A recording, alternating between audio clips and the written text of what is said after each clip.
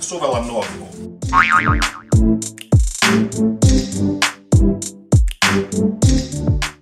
Joo, ei tää on meidän aulatila.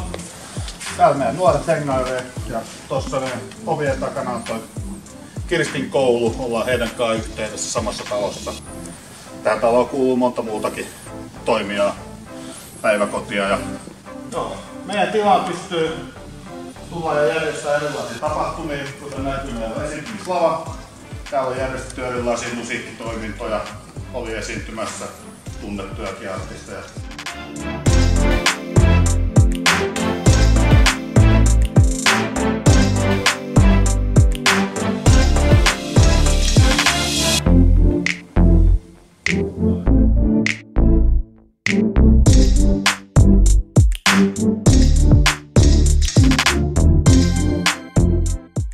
Meillä on hyvin, hyvät tilat ja paljon tilaa oleiluun.